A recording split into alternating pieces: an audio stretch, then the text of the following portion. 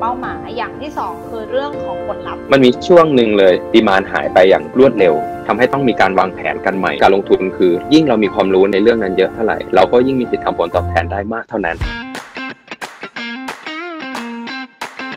สวัสดีค่ะ สวัสดีครับ ผมเป็น co-founder ของบริษัท Monofinic นะครับ เราเป็นบริษัทวางแผนการเงิน ให้กับนิติบุคคลแล้วก็บุคคลครับ นอกจากวางแผนการเงินเป็นรายบุคคลนะคะ น้องก้องก็มาดูแลการเงินให้จิ๊บด้วย แล้วก็รวมถึงคนที่ทำธุรกิจ น้องก้องก็ได้เข้าไปมีบทบาทในเรื่องของการวางแผนการเงินให้เขาด้วยใช่ไหมคะใช่ครับส่วนส่วนใหญ่ต้องบอกว่าลูกค้าผมส่วนใหญ่เป็นเจ้าของธุรกิจเกือบหมดเลยเนาะค่ะเพราะว่า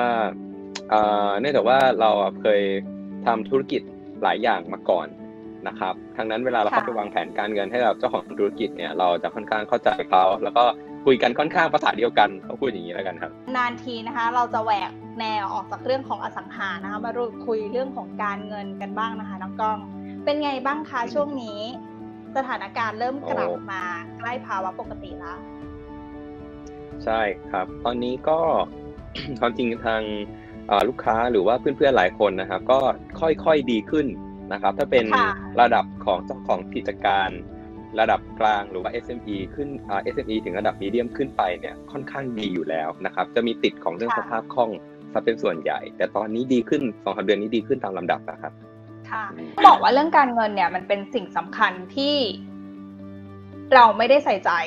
เนาะทุกคนหาเงินแต่ไม่ได้วางแผนการเงิน ทีนี้โอเค ด้วยความที่สนใจอยากจะช่วยเรื่องของการวางแผนการเงิน อยากให้ยกตัวอย่างเคสนิดหนึ่งค่ะว่าเออ พอจากคนที่เริ่มจากการไม่วางแผนการเงินเลยเนี่ยกับการที่เริ่มวางแผนการเงินแล้วเนี่ยมันมีความเปลี่ยนแปลงในเรื่องของการจัดการการเงินยังไงบ้างคะยกตัวอย่างของเคสลูกค้าก็ได้ค่ะ ได้ครับความเป็นจริงต้องบอกงี้ก่อนนะครับว่าการวางแผนการเงินเนี่ยจะเริ่มได้สามารถเริ่มได้ตั้งแต่น้อยหรือเริ่มมีมาก ก็สามารถเริ่มได้ทั้งหมดขอเพียงแค่เริ่มนะครับสำคัญที่สุดเนี่ย ก็คือการจัดวางว่าเงินหรือทรัพย์สินแต่ละส่วนของเราเนี่ย มันตอบโจทย์เป้าหมายในชีวิตอะไรของเราอยู่ต้องมองต้องมองเป็นภาพใหญ่ก่อนนะครับ ว่าคนเราเนี่ยมีมีเป้าหมายหลายด้านเนาะแต่ว่าในด้านนั้นๆ เนี่ยต้องใช้เงินหรือเปล่าต้องมองอย่างนี้ก่อนนะครับ ผมเคยเจอลูกค้าท่านหนึ่งนะครับมีเป้าหมายการเงินก็คือ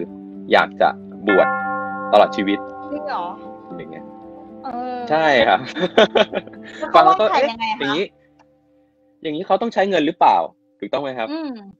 ค่ะพอคุยคุยไปคุยมาเนี่ย ต้องจัดงาน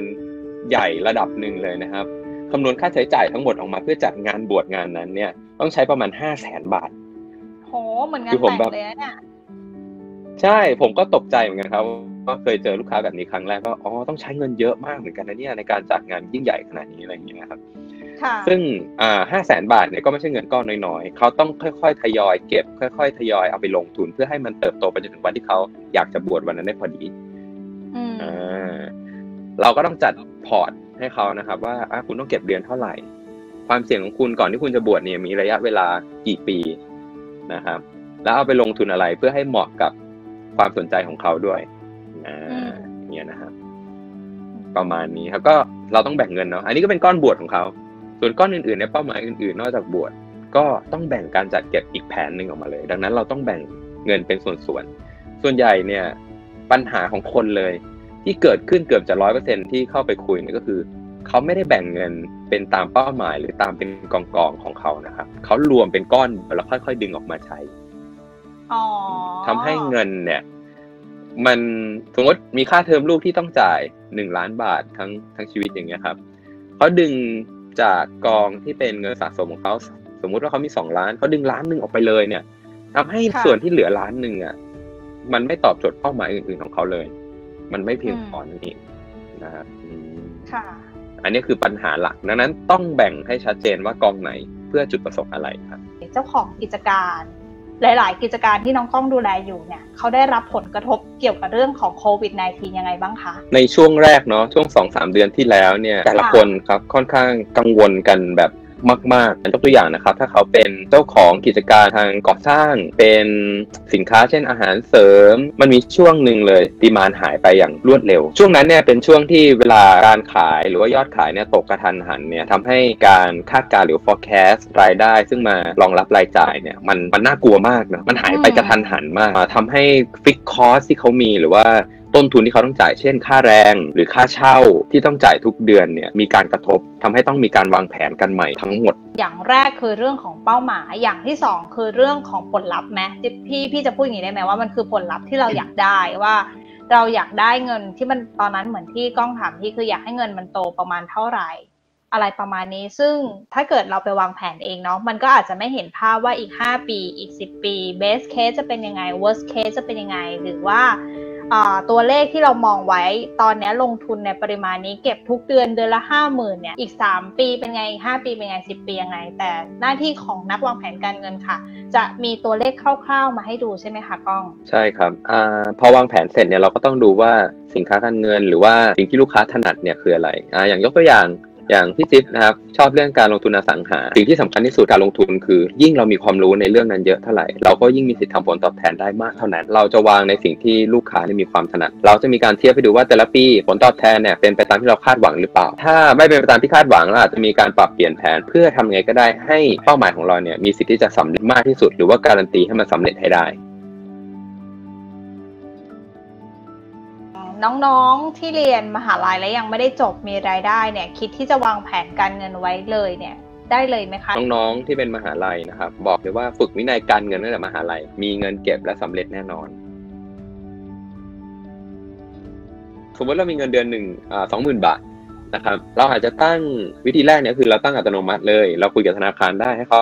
เขาตัด อาจจะอยากเก็บครึ่งหนึ่งเลย เก็บเก่งมาก ให้เก็บหนึ่งหมื่นบาทเนี่ยเข้าไปอีกบัญชีหนึ่งซึ่งเป็นบัญชีที่ฝากประจำก็ได้ ซึ่งเราไม่สามารถถอนได้นะครับหรือว่าย้ายไปอีกบัญชีหนึ่งเลยที่ไม่ได้ผูกโยงกับบัตรเครดิตหรือบัตรเดบิตเอาไว้อ่าอย่างนี้ก็ได้นะครับ หรือวิธีหนึ่งก็คือว่าให้มันตัดเข้ากองทุนตราสารหนี้หรือว่าตัดเข้ากองทุนอะไรที่เราอยากลงทุนทุกเดือนอยู่แล้ว วิธีนี้ทำให้เราอะไม่ได้เอาเงินก้อนแรกออกมาใช้แน่นอน วิธีที่ 2 หลังจากเราเริ่มเก็บออมได้แล้วเนี่ย ผมว่าเราก็ควรจะเริ่มแบ่งง่าย ๆเลยนะครับ เช่น อืม สมมติว่าคุณมีเป้าหมายสามอย่างเนาะปีนี้อยากจะไปเที่ยว ปีนี้อยากจะซื้อเสื้อผ้าอ่าปีนี้อยากจะเก็บเงินเพื่อการลงทุนนะครับ เราก็ถ้าเป็นแบบบ้านๆหน่อย ก็เอาถ้วยเลย เก็บกระปุกหรือถ้วยเนี่ยสามถ้วยแบ่งแล้วก็หยอดทุกวันนะอยากหยอดได้วันละร้อยวันละสองร้อยไป หรือถ้าเกิดว่าไฮเทคขึ้นมาหน่อย ก็เปิดสามบัญชีเลยอย่างไรธนาคารให้เราเปิดฟรีอยู่แล้วถูกไหมครับแล้วก็เปิดสามบัญชีและ ทุกสิ้นเดือนหรือต้นเดือนเนี่ยเรามีการโอนเก็บเข้าไปเพื่อเป้าหมายหลักนี้นะครับนี่เป็นขั้นเริ่มต้นเลย ยังไม่พูดถึงการลงทุนนะครับ เราพูดถึงการออมให้ได้เป็นขั้นแรก ถ้าเริ่มการออมได้แล้วเนี่ยหลังจากนั้นนะครับ เราต้องหาสินค้าการเงินหรือการลงทุนต่างๆ ที่เรามีความรู้ เน้นว่าเรามีความรู้ คนเราเนี่ยยกตัวอย่างว่าลงทุนในหุ้นเนี่ย คนที่ได้กำไรจากตลาดหุ้นจริง ๆ ตอนนี้นะครับ มีน่าจะผมว่า ตามสถิติก็สิบถึงสิบห้าเปอร์เซ็นต์นะ นอกนั้นก็อาจจะเท่าทุนหรือว่ามีการขาดทุน เกิดจากว่าเขาไม่ได้มีความรู้ทางการเงินที่ดีพอนะครับ ดังนั้นเนี่ย ถ้าคุณรู้อะไรอะ คุณลงทุนในสิ่งนั้น และถ้าคุณยังไม่รู้อะ คุณแค่หาความรู้เพิ่มเติม